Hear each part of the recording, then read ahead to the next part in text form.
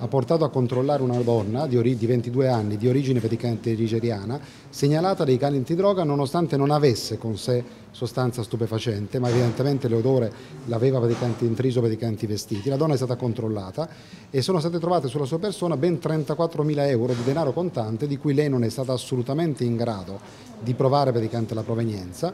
Dai controlli poi la donna è risultata nulla tenente, da qui sono partite le indagini delle Fiamme Gialle di Padova che hanno portato all'arresto di nove persone, un albanese e otto nigeriani, il sequestro di 45 kg di marijuana e 63 mila euro in contanti. La droga sequestrata avrebbe fruttato al dettaglio un valore di oltre 300 mila euro. La banda operava tra i comuni di Rubano e Selvazzano, dove avevano depositi, e la zona della stazione dove i delinquenti spacciavano. Uno degli arrestati, oltre a occuparsi di trasportare la droga dalla stazione ai depositi, forniva servizi di taxi abusivo, fenomeno già rilevato nella zona della stazione. Uno di questi nigeriani si prestava per, mh, per, se stesso, per i suoi interessi, per gli interessi del, degli altri soggetti del gruppo criminale, a portare praticamente o altri trafficanti o altri spacciatori nei luoghi convenuti per i loro appuntamenti.